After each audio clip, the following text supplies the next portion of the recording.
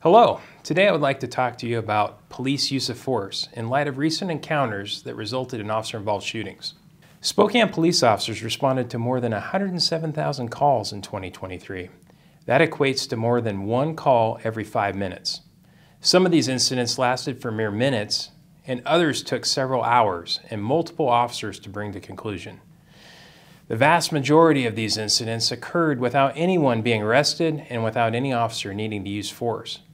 In fact, officers were involved in a total of 85 reviewable use of force incidents and two deadly force incidents for the entirety of 2023. Again, those 87 uses of force are out of 107,000 incidents officers responded to last year. Fortunately, SPD's ratio of use of force incidents compared to citizen contacts is very low. For several years, it's been less than 1 in 1,000 incidents that have resulted in a use of force by officers. You may be surprised to learn that even when an arrest takes place, force is used in only about 1 to 2% of those situations. This remained true for arrests involving suspects of all racial demographics. Most incidents are in response to a 911 call, and the most common type of call is domestic violence. Subjects who resist arrest are more likely to have force used upon them, and taser applications are the tactic most relied upon by officers when force is required. With increasing frequency, officers are facing violent suspects who either have the sole intention of harming officers or who have recently committed other violent acts and are willing to continue doing so in order to avoid apprehension. State law and Spokane police policy require that officers utilize all available and appropriate de escalation tactics when appropriate. De escalation efforts can take many forms, such as communication, the repositioning of officers, requesting additional resources, the use of specialty teams, and other measures that are intended to reduce the likelihood of using force. This is a requirement whenever possible, and something that we take very seriously as an agency. One specialty team that is commonly utilized to de-escalate situations is our SWAT team. SWAT has been more active than ever in recent years and is often called upon as a resource to handle some of the most dangerous situations our officers face. The number of SWAT callouts is at a, rec a record high. The SWAT team is very effective and capable at de-escalating volatile situations in order to protect the suspects and the community. In 2023, there were 132 SWAT callouts compared to 108 in 2022.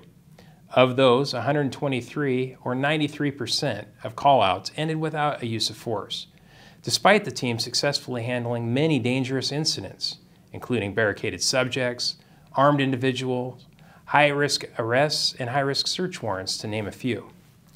The increased training, tools, and tactics used by this team allows them to safely de-escalate incidents, working alongside our SWAT team, hostage negotiators, and members of other uh, specialty teams, um, they're frequently called upon to facilitate effective communication, to create distance between officers and suspects, and to bring threatening situations to a desirable outcome. The coordination of these specialty teams serves to slow incidents down using more officers, but is extremely effective and successful at delivering safe outcomes. In some instances, the suspect's actions don't provide time for officers to bring in additional resources. The pace of a situation is largely controlled by the decisions and actions made by the subject and the corresponding level of danger to the public and officers created by the subject's behavior.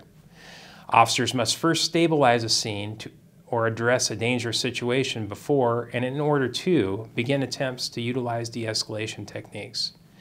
SPD officers have peacefully handled everything from the arrest of murder suspects to the resolution of hostage situations using nothing more than handcuffing.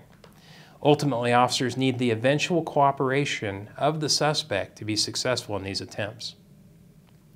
When officers are faced with an immediate and serious threat to a member of the public, a fellow officer, or themselves, they may need to resort to force because de-escalation is not possible. When that threat is life-threatening, an officer is left with no other alternative than to immediately use force to stop that threat. These incidents are of the highest concern to members of the community and to law enforcement. The safety of our community and each of our officers is my absolute highest priority. For that reason, we carefully review every use of force to ensure that officers have the training, equipment, and knowledge to de escalate situations and effectively use force when necessary. SPD is proud to adhere to the highest standards of policing, as reflected in the 99.9% of total incidents that end without an officer's use of force.